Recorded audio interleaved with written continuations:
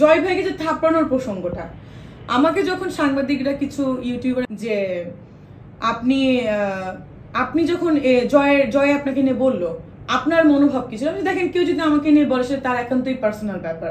আমার মনোভাব হচ্ছে যে মানে তখন যে শোটা আপনি করেছিলেন, ওই শো এর পর আপনার অনুভূতি কি ছিল? আমি বলছি, ওই শো এর পর অনুভূতি হচ্ছে, দেখেন সে যদি আমার সিনিয়র না হইতো, যেভাবে কেটে কেটে কেটে সে নিউজ দিয়েছে তার আমি থাপড়াইতাম। সে সিনিয়র বলে তাকে আমি কিছু বলি নাই, মাফ করে দিয়েছি।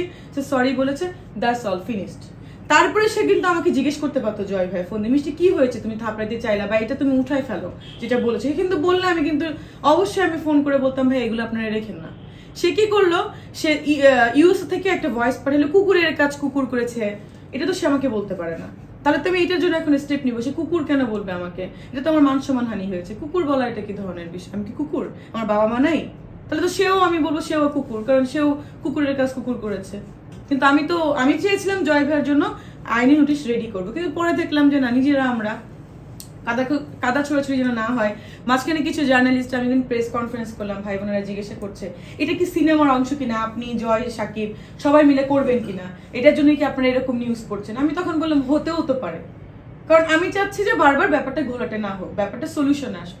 তারা তো চাচ্ছে না। তো আমি কেন চাইব? এখানে একটু প্রশ্ন আছে আমার যে আপনি বারবার বলছেন সাকিব সাকিব। সাকিব খান আপনার অনেক সিনিয়র একজন আর্টিস্ট এবং সিনিয়র সাকিবের পরবর্তী যাত্রা কিন্তু ভাইয়া বলে সম্বোধন করে।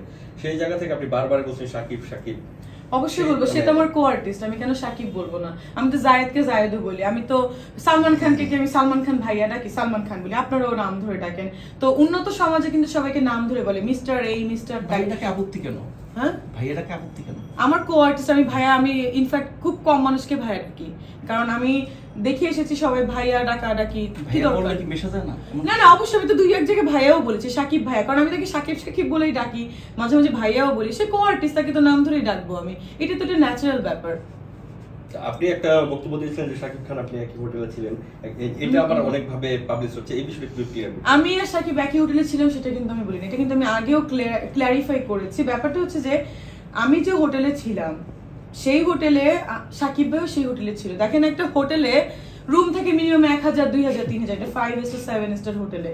আমি যেখানে ছিলাম সেখানে তো অনেক ডিরেক্টরও ছিল বাংলাদেশের। অনেক প্রডিউসারও ছিল। কারোর নাম আসলে শুধু সাকিবের নাম কেন আসলো? সাকিব ভাইয়ের নাম। মানে আমি বুঝলাম না। তো তার সঙ্গে আমি আমি কোথায় তার সঙ্গে হোটেলে ছিলাম আর কি? এটা যারা করেছে, আমি কিন্তু এটা নিয়ে সং- সংবাদ সম্মেলন করেছিলাম যে ভাই দয়া করে আপনারা কেন এগুলো এগুলো লিখছেন? ক্যাপশনটা কাইন্ডলি চেঞ্জ করেন যেমন যে এডুকেটেড না। এটাও কিন্তু আমি কখনো বলি না আমাকে বলেছে যে সাকিব যদি তোমার পাত্র হয়, তোমার, আপনার পাত্র হয়, আপনার প্রবলেম কি? আমি দেখেন, আমার প্রবলেমের থেকে আমার ফ্যামিলি আমি একা। আমার ফ্যামিলি যদি না মানে আমি কিন্তু বিয়ে, আমি কাউকে বিয়ে করব না। সেটা বলেছিলাম। তখন বলল যে আপনি কোন দিক থেকে সে আপনার থেকে কম আছে? তখন আমি বললাম, আমার দিক থেকে যদি কম বলেন সব দিকেই প্লাস কোনো দিকে কম নাই। কিন্তু কম যদি বলেন একদিকে আছে, সেটা হচ্ছে সে ম্যারিড পার্সন দুই বাচ্চার বাবা। আমার ফ্যামিলি কখনো ম্যারিড পার্সনের সঙ্গে মানবে না। আমি কথা বলছি ফ্যামিলি নিয়ে। সেকেন্ড কি অপশন আমি আমার ফ্যামিলি চাই সবসময় এডুকেটেড পাত্র খুঁজতে। মিনিমাম একটা গ্রাজুয়েশন থাকবে। তো ওই দিক থেকেও তো ভাইয়া একটু কম আছে। এটা তো খারাপ কিছু না। আমার ফ্যামিলিকে নিয়ে জিজ্ঞেস করেছে, আমি পার্সোনাল মন্তব্য আমি করতেই পারি। যে কেউ কিন্তু পার্সোনাল মন্তব্য করতে পারে। আমি তো কাউকে নিয়ে পার্সোনাল কোনো মানে বুলেটিং ছাড়ি নেই। এটাই হচ্ছে ব্যাপার। এখন এই যে আপনার নর্মাল একটি শুনিয়ে যে জয় ভাইয়ের সঙ্গে প্রথমে একটা দ্বন্দ্ব, এরপর আসলে একটা নায়িকা পর্যন্ত করিয়েছেন আপনি কি চাচ্ছেন আমি চাচ্ছি আমি তো দ্বন্দ্ব কখনোই চাই না। আমি চাই না স্পেশালি আমার সঙ্গে যদি কারও দ্বন্দ্ব থাকে কখনো বা মনোমালিন্য থাকে, তার বাসায় বলেন, তার সঙ্গে দেখা করে বলেন, আমি সবসময় সলভ করতে চাই। এখন মানুষের তো অন্য কারণে হয়তো বা তাদের ইন্টেনশন বা অন্য কোনো কারণে হয়তো বা তারা আমাকে ভালো লাগে না। এরকমও হতে পারে। কারণ এমন কোনো কথা আমি বলিনি যে তার গায়ে লাগবে। সে বলেছে যে, এটা এটা এটা আমি বলেছি। কিন্তু কোনো কিন্তু প্রমাণ নেই, আমি ওটা তাকে নিয়ে বলেছি। এটা কিন্তু ইনডিরেক্ট ভাবে সামগ্রিক কথা নিয়ে আমাকে বারবার বলছে যে দেখেন মিডিয়াতে তো গিভ অ্যান্ড টেক চলে। আপনি কি ওই জন্যই আপনি কাজ করছেন না? আমাকে প্রশ্ন করা হয়েছিল। তখন আমি বলছি, আপনি এরকম একটা প্রশ্ন আমাকে কেন করলেন? পরে বলল যে, না, তুমি একটু বলো। আমি বলছি, কোথায় গিভ অ্যান্ড টেক চলে না? আমি মেডিকেলে পড়েছি, আমার স্যাররাও আমাকে অফার দিয়েছিল ভিডিও দেখায়। এটাও কিন্তু আছে নিউজে হ্যাঁ আমি বলছি, একটা পাঁচ হাজার বা দশ হাজার টাকার একটা মেয়ে যদি চাকরি করে, মেয়েদের তো সব জায়গায় যৌন হয়রানি করা হয়।